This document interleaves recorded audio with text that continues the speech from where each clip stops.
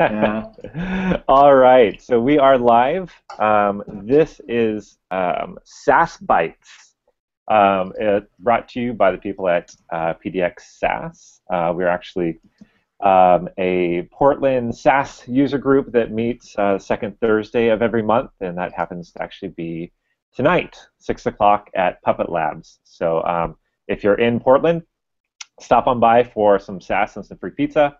Uh, if you're not from Portland, uh, you can actually check out the live stream because we stream it just about like this um, on the event page. So you can check out that as well. Um, check out PDX Sass on Twitter. There's links to the community page and all that. So um, today, what what Sass Bites is, uh, and uh, this is kind of a new thing. Obviously, we're just episode two is um, just a quick little thing at lunch um, to share some Sass bits, uh, to invite a few people in to, to share something that they're interested in. Uh, last week I talked about um, icon fonts and font custom, uh, and it was pretty great. And I think I'd like to try and do this as a regular thing every week. Um, hopefully, some other guests speaking once in a while, and uh, we'll kind of go from there and and see um, see where it goes. So it should be fun. Just a quick little Sass bite on your lunch break. So I'm going to do is I'm going to start sharing something. What we're going to talk about today is just uh, mixins. I just want to give a quick introduction into building a mixin, some of the basic components, and some of the things that you can do with mixins. Um, and I know a lot of it's going to be kind of rudimentary, but there's a lot of people that have never even seen this before or um, haven't seen maybe a couple of the features of it. Uh, or maybe uh, people can pop into the Hangout and can tell me something that I missed. So um, what I'm going to do is go over just a real simple mixin here and show some of the features of it, um, and hopefully not get pinged in IRC way too much. All right, so um, first thing with the mixin, um, we're going to show right here is that to, to create one, you start off with the little directive of at mixin. Um, then you give it a name, um, and then here's where we can have a little fun with um, parameters. Uh, really similar if you come from like a PHP background or a sort of Ruby background, really any programming background, um, you're going to see this is pretty much looks like a, a, a, function where you can call the function and pass in parameters and then use those parameters as local variables.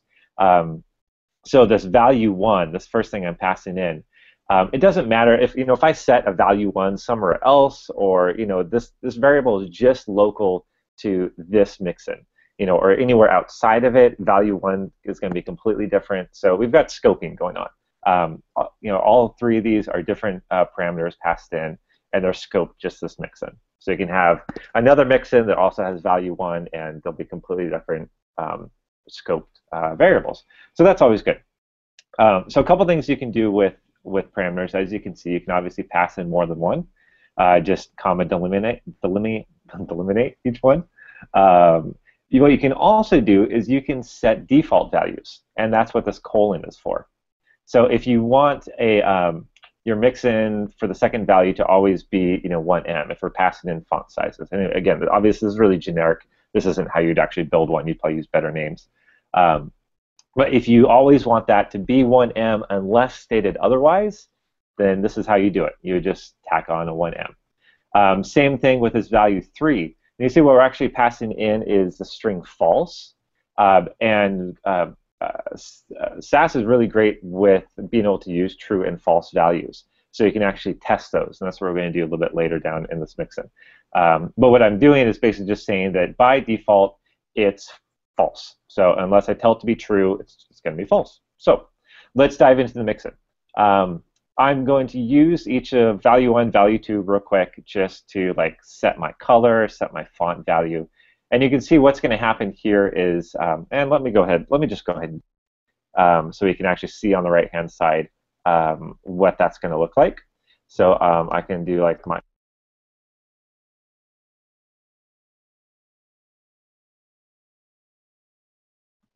and I will pass a value of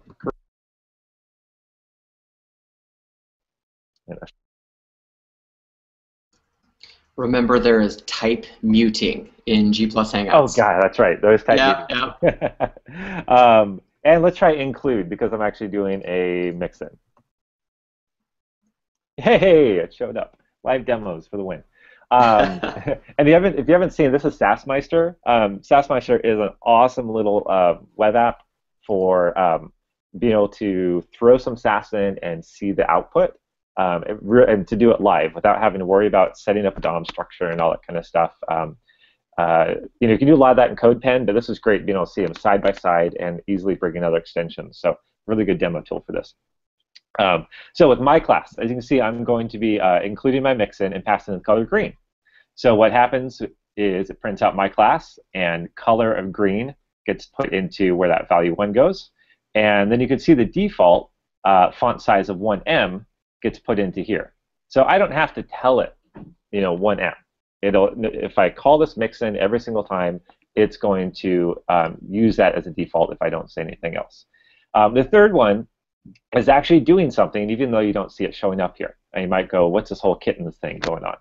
Um, with this third value, what I'm actually doing is I'm testing the value. And I'm going to do, do something depending on the, uh, what that test returns, whether it's true or false. Um, and this could be an entire topic of itself of using uh, conditional statements in Sass. Um, again, just something really awesome about the power of Sass. Uh, what I can do is I can do an if statement, and I can say if value 3. Uh, and now again, if you come from a PHP background or anything like that, you can test basically the, the truthiness of a variable. So if the variable is true, it'll return yes. If a variable is false, false, it'll return no. So I don't have to say like if value 3 is equal to true or if value 3 is equal to false you can just say if value 3, and, and it'll automatically test it that way. So what this is doing is saying if value 3 is, uh, is true, then I want to extend uh, this other uh, silent class that we've set up here that has a little uh, place kitten going on, because everyone needs a little place kitten in their mixins. Um, otherwise, if it's not true, if it's false, which obviously can only be the other option, then extend something different. Extend this, you know, no extend uh, class. Um, so a couple things showing off here for one, you can test the values coming into a mixin to make the mixin do different stuff, which opens up huge worlds of possibility. You could have you could have the mixin do something completely different depending on what gets sent in for one of those values. You could say, you know, if it's one thing, do these 20 steps. If it's something else, do these other 20 steps. So it could get really powerful in that kind of stuff in, in doing some of these tests. Um, you can also test values. So say you use some like color functions to test the like uh, the luminos- luminosity of a value. You could then do something depending on that luminosity. Uh, you could you know set the color depending on it, those kind of things. So lots of stuff you can do with these if statements, which is a total conversation for another time. Um, but the other thing you can do, you can see here, is you can actually extend from within, within a mixin. Um, I will often do this with a mixin for all of the pieces that don't change because um, mixins are great when when you have when you need to call a function, when you need to call something, and pass in values to to change the output. When you have a lot of like um, you know say a lot of styles, whether it's where you're it's a font mixin actually is a, is a perfect example. So like an icon font I talked about last week. Um, you know, there's a bunch of stuff that never changes. You know, the the, the font weight and the font style and the, the name of the font, the font family, and those kind of things. Those are all going to be the same every single time you call it mixin. So instead of repeating them over and over again, because the mixin is going to print out everything inside of it, you can use an extend to just automatically extend that class every time you call it. Um, you want to be careful not to overdo this because you can find yourself doing a lot, you know, just extending a class like crazy. Um, but it certainly will cut down your code if you've got you know five, six, seven, ten different um, styles on this mixin that never change, that don't, that are not affected by the values passed in, because uh, those are obviously better suited for a um, uh, suited for an extent. And Snugug is saying hi. Okay, so um, uh, so yeah, that so that's it. So we're able to pass some values in, and depending on um, those parameters, it spits out something different. So let me do something a little bit different. Let me go ahead and do my other class. Ping like crazy. Um, do, do other class. So I can do a different class. Use this uh, mixin again, but this time I'm going to pass in a value for the size. So this one's actually going to be a little bit bigger. So it's going to be green, and actually let me go and change it to blue. So it's going to have a background color of blue. And this one's going to have a font size of 2. So you see, I, I don't have to pass in that uh, value if I don't want to. but if I do, I can totally do it. Um, and then as well with that third value, um, instead of false, if I actually want to be, I can pass that in. And so what it's going to do is this with my other class, it's going to extend the other background. So you can see up on the right here that my other class is going to actually use the kitten. So we got cats from my other class. For my class background, no kittens. So no kittens were harmed in the making of, of this mixin. Um, one thing to be aware of is once you do, and I, I would want to probably test this to, to, to, say definitively, but I know we're running across this. Um, this obviously is going to be weird because it's going to think that second value is actually value two. Um, and so once you start setting some defaults, um, you're I don't remember what the other thing. I know I've run into some issues basically once you start setting some defaults, you need to specify those if they're going to change. So um, make sure that you are including all those values. Even if you want it to be 1em, you're going to need to do that. And actually, if, if you're going to use that third value, you need to specify that second value. Okay, that was that was actually the note I gave myself over inside of the Hangouts chat. Was this exact subject? Um, if we just so want, do this? No, can't do that. Okay. Yeah. Yeah, so if we want uh, if we want to set say the third value, but use all of the defaults the defaults up to that point, we're stuck defining all of those values. I believe so. If someone wants to ping me okay. on on if that if there's a different way to do it, there might be. Um, I thought I seriously thought you could like actually say um, like val three but I, I guess I'm wrong because that's certainly not coming up as a. Oh, no, hold on. No, yeah, you should be able to set the keyword argument I just, as. I just did it right there. Yeah. yeah. Okay. Yeah. So my other class is true. Oh. Class is one. Okay. Cool. So we just we just learned something today. So yeah, you can use it if you can use the keyword to hit one of those ones further. Down oh, yeah. Is that is that some is that what we sort of inherit from Ruby Ruby awesomeness there? Because that's I mean PHP we can't do that. I mean that you know that's where I come from, right? So. Uh, yeah, I'm guessing it's probably a, a, Ruby thing. We'd have to get you know Eppstein in here or something like that. Gotcha. But gotcha, the fact is, it works. That's what I love about SassMeisters. You actually that's killer. what works and when it breaks. Um, yeah, so that's the basics of being able to pass in variables, to give them defaults, um, to be able to test those um, uh, parameters. Sorry, test those parameters and do things depending on those parameters. Uh, you can extend from within there. Um, you could probably even do a mixin from within a mixin, but that just gets inception-y, and I, I, don't really want to go there. But there's there's a lot you can do. Uh, and there's one more thing. Here's your little bonus, and hopefully I'm not stealing too much from Chris. Is that um, Sass has this concept of um, of content. So what we can do is we don't have to just send in a couple of parameters. And actually, this came up when I was doing the font mixin because I wanted to pass in like um, drop shadow value and I want to pass in a like font color value and pass in like all these different parameters of all the different things I might want to do to this icon font every time I use it. Um, but instead of doing that, what we can actually do is this. Uh, what do I want to do? I got colors and font sizes. Uh, let's just do a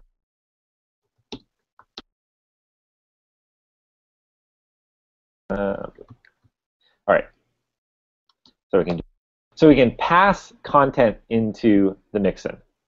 Um, and so it's yelling at me because I haven't done this part yet. So a couple things you can do. You can just toss content and boom. What this is going to do is anything you pass into the mixin is just going to be passed right into this content variable. So if I've got, you know, whatever the next one is, um, um,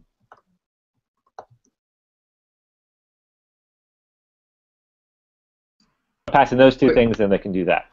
Quick but, question about the yeah. semicolon and your closing bracket. First of all, indent your closing bracket backwards because my OCD is kicking in really oh, hard. no doubt. Second of all, do we need a semicolon at the end of that closing bracket? Find out. Maybe not. That might be an, a, an optional one. If it doesn't oh, break, okay, great. All right. Uh, yeah, yeah, because without it, um, nor if you're not doing the content block, you, you obviously are going to want one right here. But with the content, I should have deleted that. So good call. All right, so this is But if you put something after that, you're going to need the the semicolon. If you put another rule after your include. Um, Let's find out. So, um, no, no. No, That's fine. that. I'm wrong. I'm gonna go away now. no. All right, so you don't need to do that. So, okay, obviously at this point, that's boring. There, there's no reason for me to put box shadow and that border bottom inside of my include because it just gets put. You know, I could I could have just put that afterwards and it would have done the same thing. Um, cool though is that you can do different stuff with this content. You don't have to just do it as is. One, um, I could say um, that whatever this item is, it's got there's oftentimes a link inside of it or something. I don't care. Um, what you can do is actually change where that content goes inside of your mixin. So it doesn't have to be placed just to that parent class. You could say, I want all of the you know anchor tags inside of this to be whatever I pass into this content box. Uh, really actually the more common case, and this I'll show this one. IE or something like that. So if you're using um, HTML5 boilerplate or something of you know anything that that puts all those little conditional tags up in your HTML, um, this is awesome. Um, what it allows you to do is use that content block and just prefix it with some kind of other class or something like that. Um, and you could even pass that in as a value if you wanted to. Um, and we use this often in like media query mixins um, where we want to scope the um, the content that's being passed in. So what what we might do is the the content automatically gets put in the media query, but then we also have an option to put that content inside of some kind of scope. Uh, that scope might be like an old IE, or it might be like, um, you know, I want this to happen at a certain breakpoint, but I also want it to happen in, uh, you know, if I'm in the sidebar or if I'm in the main content or something like that. So it allows us to, to scope things like that, if that's the, the right word.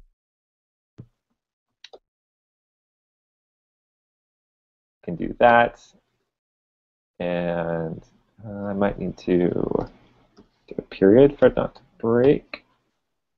I certainly did not do this before. Uh, so var, yeah, it's not going to like me. Any idea what I'm missing there? Do I need different quotes? Or not pass in a period? Anyway, that might might be the best example. Bum, bum, bum. There we yeah, something like that. Anyway, might be the, the best thing just to just throw it in there in live demo. But um, so what it allows you to do is scope that content. So if you need to use it in different ways, put it in different places. Um, with the with the font icon, what it's able to do is put the font icon, the content that was using uh, like a, an after pseudo class. I was able to do uh, you know after um, to to put everything into that that pseudo sorry that pseudo element to do that after. So anything I passed into that icon font mixin got put into that selector's you know after statement. So it would actually style those icon fonts because that's where the icon fonts went. So that's content. It allows you to basically play with and manipulate and do all those types of things. So um, sweet, that's 1220. Um, any quick questions? Um, things that didn't make sense? All silent as church mice. That's pretty awesome. Cool. So that's a Sass bite. Um, thanks for everyone that popped by late, Oh. early. Ooh, Inception. Sorry. Hi, Dan. um, and I hope to do that every week. I mean, it's it's lunchtime. Uh, we're gonna eat some food. Want to eat a little bit of Sass too. Um, Eleven people viewing. That's awesome. Uh, we're gonna do it again next week. So um, follow PDX Sass on Twitter. Um, I'll certainly be posting there. Um, in the profile, there's a link to our G Plus community. You can join that. You certainly don't have to live in Portland to join the community. Um, and we're hoping to get, you know, I, I don't want to do this every week as much as I would. Uh, I think Dale's actually in line to do it pretty soon. Um, and if anyone else is available at 12 uh, p.m. Pacific time on Thursdays, um, I'd love to have you talk and just just share something cool. Doesn't have to be super scripted, um, kind of off the cuff and uh, just a little discussion. So um, that's it. I will hit everyone up later, um, and thanks for watching. Good work, right, thanks, man. Micah. Okay, thanks guys. See ya. Later.